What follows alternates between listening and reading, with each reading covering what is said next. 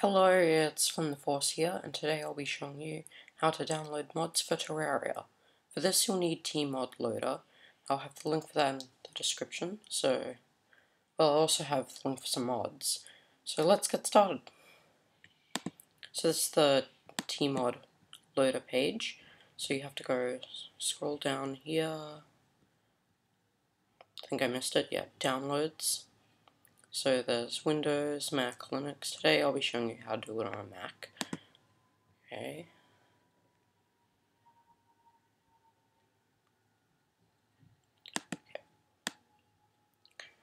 Yeah.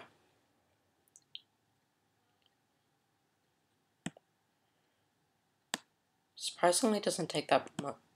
Surprisingly doesn't take that long to load takes much longer for the Minecraft Forge and Minecraft mod loaders to load. I think that the Terraria one would load slower because it has more assets. Because Terraria has, you know, the furniture, the swords, has a whole bunch of stuff. But, I don't know. Just as load faster, I guess. Okay, loaded.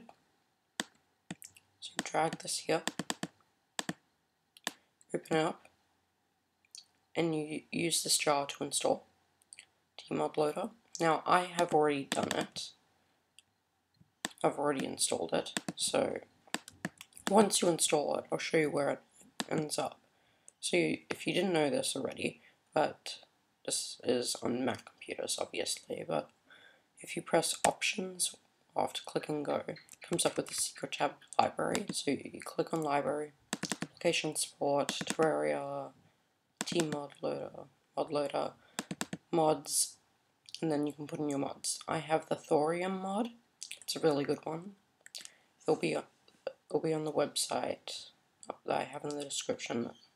The Terraria mods.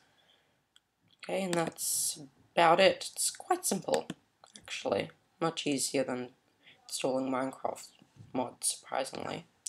So, anyway, good. Bye.